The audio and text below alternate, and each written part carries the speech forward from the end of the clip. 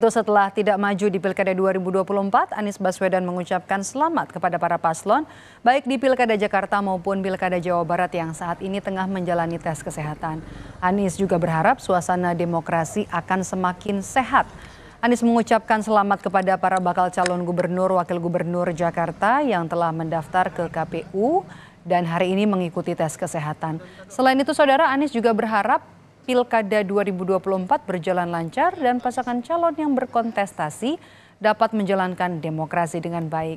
Soal langkah politik Anies ke depan, ia menyebut akan disampaikan dalam waktu dekat. Ya, saya ingin sampaikan selamat aja kepada mereka-mereka yang hari ini mulai menjalani periksa kesehatan, mulai menjalani proses, mudah-mudahan berjalan lancar, demokrasinya juga nanti berjalan dengan baik. Nanti saya akan sampaikan khusus uh, terkait dengan rencana ke depan, langkah-langkah apa yang akan dikerjakan, dan semua hal-hal yang menyangkut apa yang sudah dikerjakan, yang mau dikerjakan saya sampaikan secara khusus. Tapi yang jelas kita ingin agar ya suasana demokrasi kita ini sehat. Apa yang menjadi aspirasi rakyat tercermin di dalam apa yang disimpulkan oleh keputusan-keputusan elit. Mudah-mudahan itu yang bisa terjadi.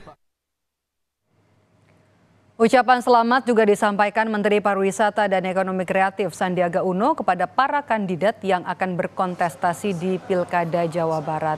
Sebelumnya, Sandi sempat dilobi PKB untuk maju sebagai calon gubernur di Pilkada Jabar. Namun setelah mempertimbangkan secara seksama dan diskusi bersama keluarga, Sandi memutuskan untuk tidak mengambil bagian dalam kontestasi Pilkada 2024.